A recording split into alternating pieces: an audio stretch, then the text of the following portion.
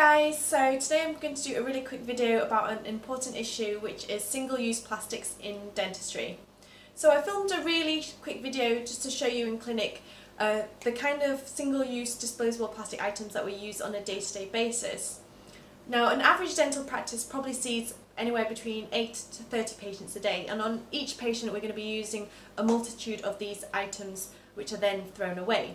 These items don't end up in the sea, they do get incinerated, but we still should be trying to make a conscious effort to reduce how much we're using and wasting. As dentists, our main priority is patient safety and cross-infection control. We do have to follow guidance from a document called HTM 0105, which states that where items are difficult to clean, we should be using single-use disposable items.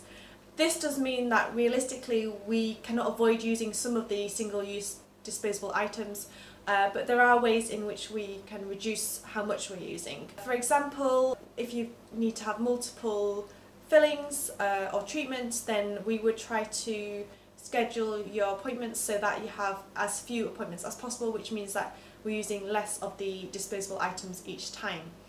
Other things that we've done is to swap from the plastic disposable impression trays to the metal uh, reusable trays. However, there are some companies, uh, laboratories that insist on us using their disposable plastic trays. So this does mean that we do need everybody on board to reduce how much plastic we're using.